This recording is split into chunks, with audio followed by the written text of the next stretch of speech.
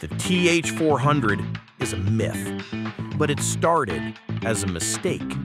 Nobody at General Motors meant to build a monster. They weren't trying to change racing. They weren't trying to terrify Ford. They weren't trying to create a transmission that would outlive entire cars, outlive entire families, outlive the damn factories they came from. All they wanted was a heavy duty automatic for big cars and big engines. That's it. That's the whole story until it wasn't. Because sometimes, just sometimes, Detroit trips over something brilliant. Sometimes you design a tool and instead you create a myth.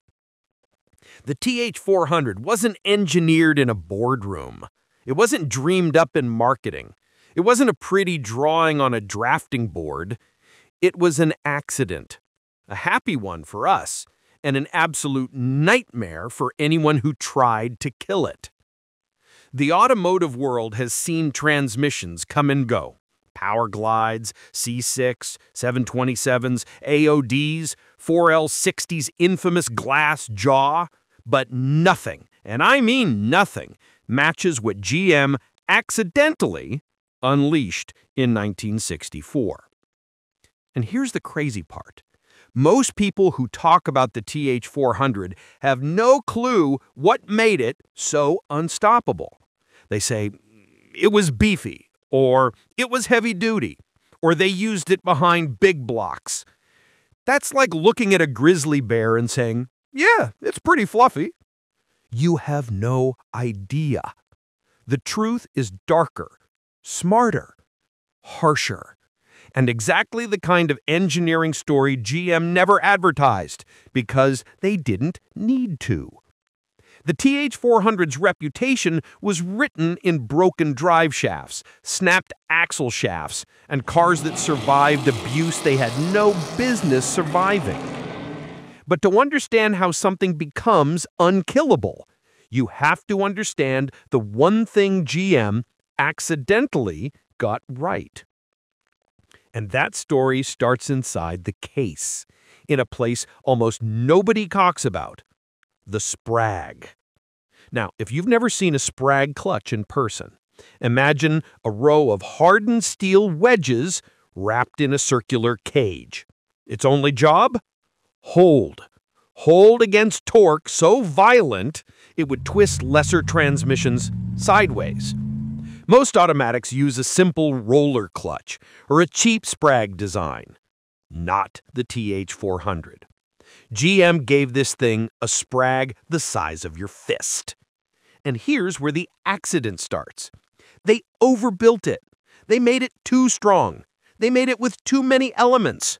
And when racers discovered what that Sprag could take, when they bolted a TH400 behind engines it was never designed to handle, the world realized this wasn't just another automatic.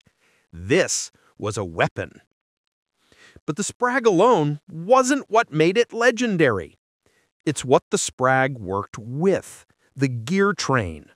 A triple planetary setup with stout gears, thick teeth, and needle bearings that look like they came off industrial machinery.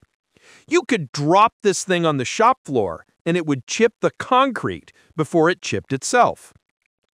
And those planetary gears?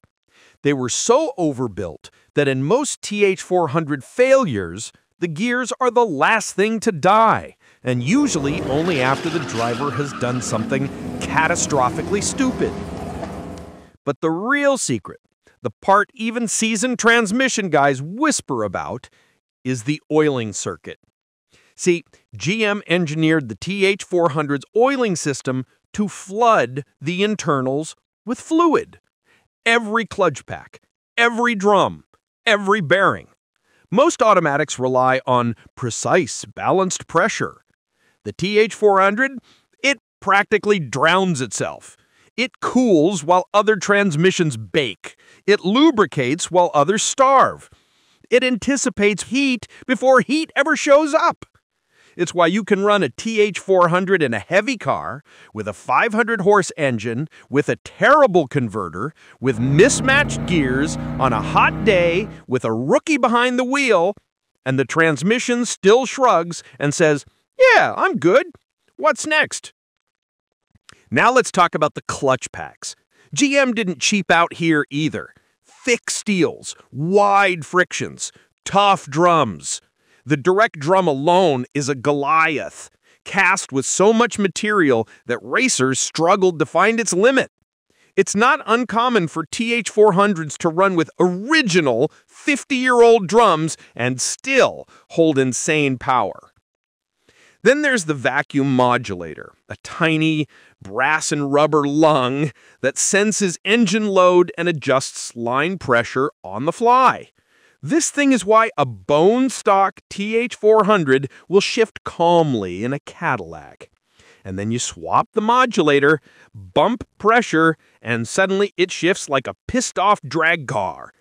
Effortlessly, predictably, brutally. Oh, and remember that thing GM never advertised? The switch pitch. A torque converter with variable stator pitch. It could flash like a loose converter one second, lock up tight the next.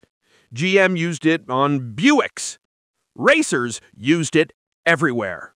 Another accident, another advantage, another clue that the TH400 was not meant to be normal. And yet, in all of this, GM had no idea they created a transmission that would be used in ambulances, tow trucks, military trucks, drag cars, RVs, diesel conversions, and performance street monsters.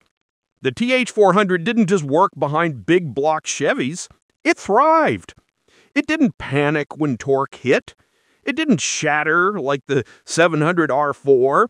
It didn't melt like the early 4L60Es. It didn't grenade like the C6 under repeated abuse. It just lived.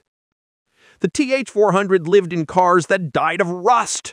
It lived in trucks that snapped frames. It lived in drag cars that scraped the bumper at every launch. It lived in vans that ran hot enough to fry eggs on the floorboard. And when GM eventually turned it into the 4L80E, they couldn't improve the internals. They just added electronics.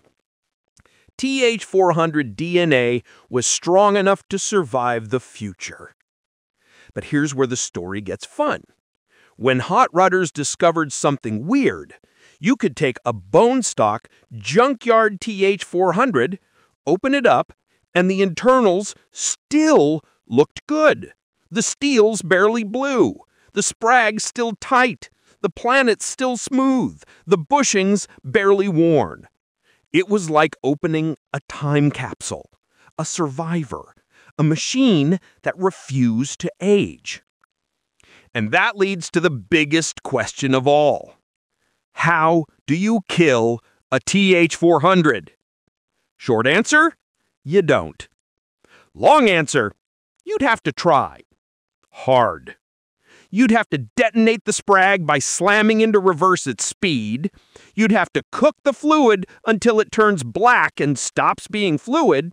You'd have to starve the pump. You'd have to run a converter so mismatched it screams for mercy.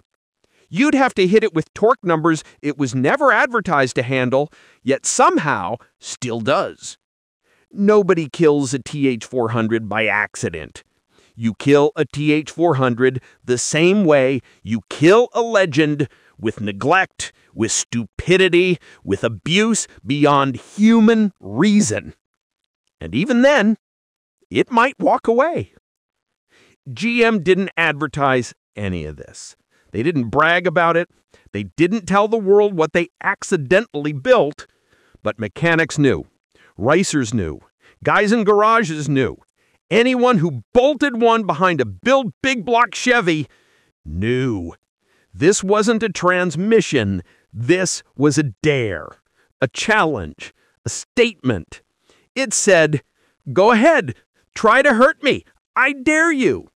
And today, 60 years later, the legend still holds. You can talk Ford 9 inch. You can talk Dana 60.